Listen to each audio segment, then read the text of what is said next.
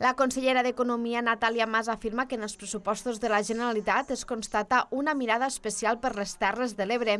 Des de l'Observatori de l'Ebre, on va presentar el projecte de pressupostos davant d'un centenar d'agents socials i econòmics, alcaldes i càrrecs institucionals, Mas va destacar que l'esforç inversor creix un 64% al territori, per sobre de la mitjana catalana del 52%. La consellera va destacar les partides destinades a obres com l'ampliació de l'Hospital de Tortosa Verge de la Cinta amb més de 16 milions d'euros o l'estratègia Delta amb 6 milions a Terres de l'Ebre doncs, eh, hi ha una mirada doncs, especial i, i més accentuada que la mitjana del territori de Catalunya. La inversió del govern a Terres de l'Ebre en el que portem de legislatura haurà incrementat un 64%, quan a la mitjana doncs, de Catalunya se situa en un 52%.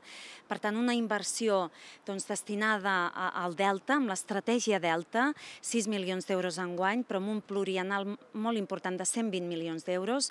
una, una inversió també doncs, per la xarxa viària amb la C12, l'Eix de l'Ebre també amb un plurianal important de 110 milions d'euros pels propers anys,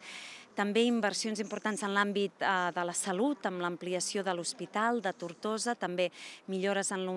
l'Hospital de Mora de l'Ebre, eh, també doncs, amb uns, un contingut eh, consignat doncs, pel futur Hospital Universitari de Terres de l'Ebre. El delegat del govern, Albert Salvador, també va remarcar que són uns pressupostos que reflecteixen els projectes més estratègics d'aquesta legislatura. Són uns pressupostos que reflecteixen ja els projectes més estratègics que portem treballant aquesta legislatura. Recordo que és una legislatura que portem mal comptats dos anys i mig llargs, per tant menys de tres anys, i, i fa, quan vam començar parlàvem de projectes que avui ja eh, tenim consignades les partides pressupostàries per executar-los. Els pressupostos de la Generalitat per al 2024 també preveuen un increment del Fons de Cooperació Local i del Pla Únic d'Obres i Serveis de Catalunya.